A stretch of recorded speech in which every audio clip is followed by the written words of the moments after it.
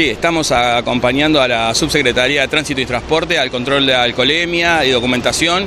Eh, son controles de rutina para que nuestros pasajeros pilarenses puedan viajar mucho más tranquilos y seguros. Es una época de mucho viaje de larga distancia, estamos en, la temporada alta de la larga, entonces nosotros lo que hacemos es verificamos todo lo que sea la documentación exigible, seguro, verificación técnica, el hecho de que tenga seguridad activa, seguridad pasiva y sobre todo los choferes, los controles de alcoholemia, que para nosotros es básico darle, tratar de garantizar la seguridad de los pasajeros y minimizar todo aquello que pueda ser una variable de riesgo.